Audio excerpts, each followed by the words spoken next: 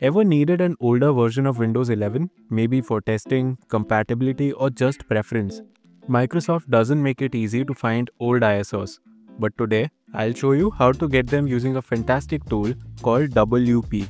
You can grab versions like 23H2, 22H2 or any other older build you might need. So let's get started. UUP Dump is a website that lets you download UUP files directly from official Microsoft servers. These files are the same ones Windows Updates uses. UUP Dump then helps you to create a bootable ISO image from them. It's completely safe and legitimate because you are getting the files straight from Microsoft. Here, you will see different categories Canary channel, DEV channel, Windows 11, Windows Server, and Windows 10. To find a specific version, use the search bar. For example, let's say we want Windows 10 version 2004, which was released in May 2020. Just type Windows 10 2004 and here you have it. You can also select versions from listed options. Let's look for Windows 11 23H2 for this example. We will click on AMD 64 link for Windows 11 version 23H2. You can see that ARM64 builds are available for download as well. Now, we need to pick our language. Click the drop down and choose your preferred one. I'll go with English United States. Then we need to choose the edition. You will see options like Home and Pro. N editions are designed for users in European countries to comply with European Union regulations. Pick the one you need. Most people will probably want Pro, but for this example, we'll use Windows 11 Home. Then click Next. Here's the important part. Under the download method, you have three options.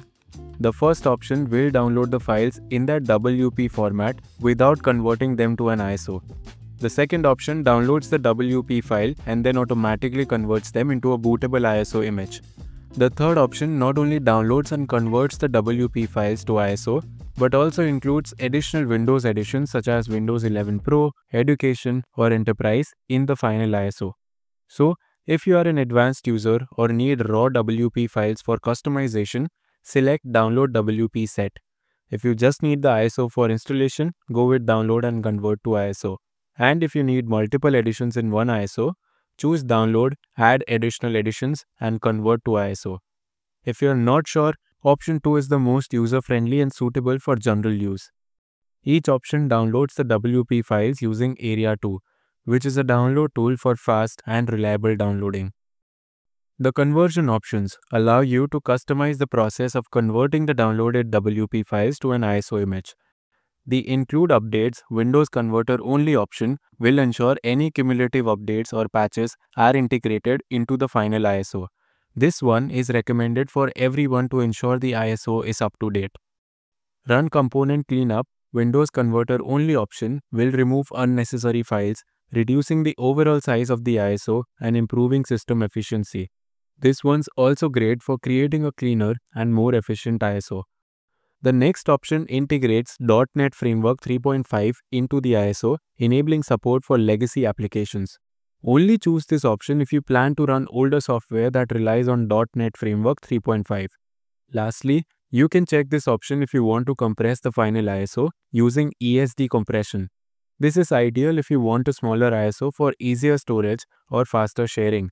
However, in this case, the installation process might take slightly longer because the system needs to decompress the ESD files during setup. Finally, click on Create Download Package. UUP Dump will now give you a .zip file. Once it's downloaded, extract the contents of the zip file.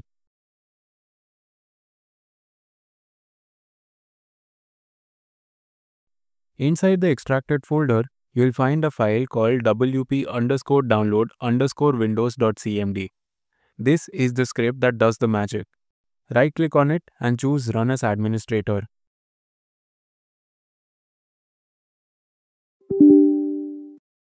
A command prompt window will pop up.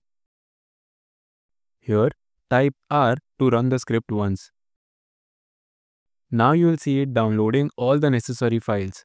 This might take some time depending on your internet speed and which version you are downloading. Grab a coffee or do something else while it works.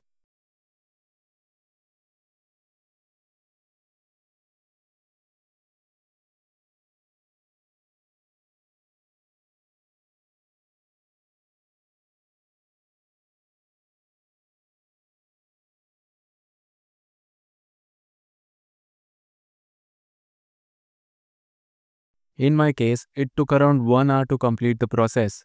Once the process is complete, the command prompt will say finished. Press 0 to exit the command prompt. And there you have it. In the same folder, you will now find your freshly created Windows 11 ISO file. You can use this ISO to create a bootable USB drive using a tool like Rufus. That's it. Now you know how to download old versions of Windows 11 ISOs using UUP dump.